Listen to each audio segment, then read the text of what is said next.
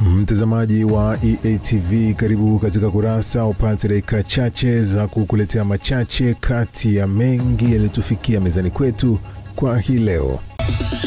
Tuanze kukupekulia kurasa kwa hili. Wakazi na wageni wanaofika katika mkoa wa Arusha na viunga vyake katika msimu huu wa sikukuu wamehakikishiwa ulinzi na usalama wawapo mkoani hapo kuelekea katika sikukuu za mwisho na mwanzo wa mwaka, ikizingatiwa kuwa mkoa huo ni kitovu cha utalii hapa nchini.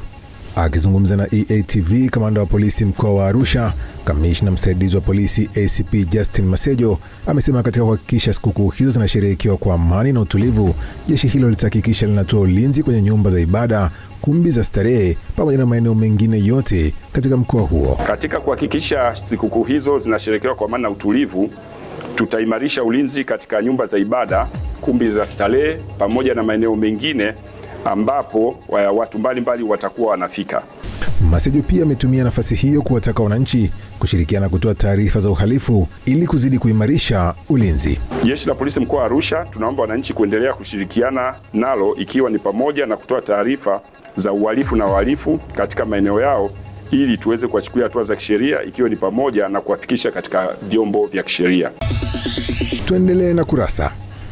Wananchi katika kijiji cha Nyamusi kata ya Goribe wilayani Rorya mkoani Mara wameiomba serikali kutatua kero za miundombinu ya barabara ikiwemo kuwajengea daraja la Mariwa ambalo limekuwa likikwamisha shughuli za usafiri na usafirishaji mazao na biashara zao. Wakizungumza na EATV, wananchi hao wameeleza kuwa daraja hilo ni kikwazo katika shughuli za kijamii na kuchangia wanafunzi kutoandikishwa darasa la awali katika umri unaotakiwa wakihofia kusombwa na maji. Ninachokiomba, tuna shida ya daraja, watoto wanateseka, muda mto ukijaa wanaenda shule. Tuna shida, tukitaka kuenda zaanati kule ng'ambo tunateseka, kwa sababu nikienda huko sokoni nakwama huko, nikienda kwenye kilini maji inajaa.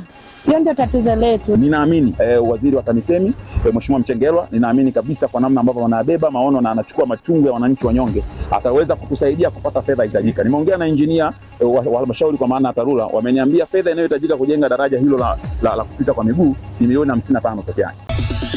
Tumalizie Kurasa kwa hili. Kampeni ya magifti dabodabo inayoendeshwa na mtandao wa simu wa Tigo Tanzania imeendelea kuwazawadia washindi zawadi mbalimbali ikiwemo fedha taslim, ambapo hadi sasa orodha ya washindi 60 wamezawadiwa fedha pamoja na zawadi mbalimbali. Akizungumza na Kurasa wakati akikabidhi baadhi ya washindi mfano wa hundi ya milioni moja, Ramla Athmani Kopwe mkazi wa Kigogo Fresh Chanika, Rosa Leonard Mchome mkazi wa Changanyikeni Dar es Salaam na Rafia Abdulaziz Tendega mkazi wa Tabata Dar es Salaam amewasisitiza Watanzania kufanya miamala mbalimbali ya Tigo Pesa ili kuibuka washindi, maana kampeni hiyo bado inaendelea. Nimejishindia kiasi cha milioni moja kutoka Tigo Magifti Dabodabo. Kiasi hiki cha pesa nimeshinda kwa kufanya miamala mingi kwa kutumia Tigo Pesa na pia kununua vifurushi kwa kutumia Tigo Pesa. Mimi ni mshindi wa Magifti Dabodabo, nimeshinda milioni moja kutokana na kufanya miamala kwa wingi, kwa unga ndugu na marafiki vifurushi, kulipa kwa Tigo Pesa. Pesa hii niliyopata itanisaidia katika kukuza biashara yangu ya kuuza cheni, pete na vitu vingine, bracelets. Washindi hao wameshinda kwa kufanya miamala mbalimbali ya Tigo Pesa pamoja na kununua vifurushi eh, kwa njia yoyote ile. Uh, tunawasihi wateja wetu, endeleeni kufanya miamala, endeleeni kununua vifurushi ili uwe kati ya washindi ambao wataendelea kushinda zawadi mbalimbali mbali katika kampeni yetu ya magifti dabodabo. Tumekufungulia na kufungia kurasa kwa hayo machache kati ya mengi yaliyotufikia mezani kwetu kwa hii leo. Tafadhali usikose kuangalia kurasa. Kwa niaba ya wale wote walioshiriki kukuletea kurasa kwa leo, jina langu ni Exaudi Mtei. Endelea kuangalia vipindi bomba na makini kutoka hapa EATV.